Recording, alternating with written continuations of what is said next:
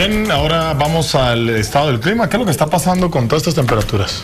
Bueno, yo para mí ha sido fantástico, ha sido ideal. Se siente un poquitito de frío en la mañana, pero nada mm, fuera de lo normal. Yo pienso que es una temperatura muy agradable. Bastante agradable, Luisa, y a partir de este miércoles hasta el fin de semana, condiciones bastante agradables nos seguirán acompañando, condiciones secas para esta tarde y noche, aunque la probabilidad de una lluvia muy ligerita continúa en un 10% para nuestra ciudad, así como para los condados del este, ya que un sistema de baja presión ingresando desde el Golfo de México. Sigue empujando la humedad para los eh, estados del centro y sur del país.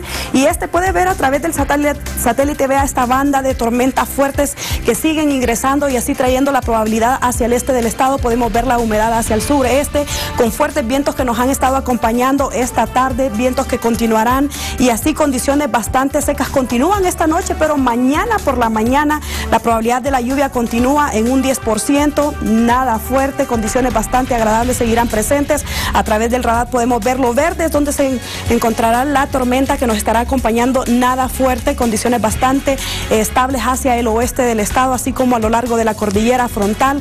Las condiciones, temperaturas ya mm, mm, empezarán a calentar principalmente hacia el fin de semana, a esta hora de la tarde, 61 grados de temperatura. La máxima de este día para nuestra ciudad de Denver, 63 grados bajo este cielo parcialmente soleado. La humedad ambiental de 19% con los vientos provenientes del norte-noreste de 13 millas por hora. La temperatura mínima para esta noche en las montañas Aspen con 21 grados, Steamboat Springs con 30. Nuestra ciudad de Denver, temperatura a punto de congelación, Fort Collins eh, con 30 grados bajo un cielo parcialmente eh, nublado.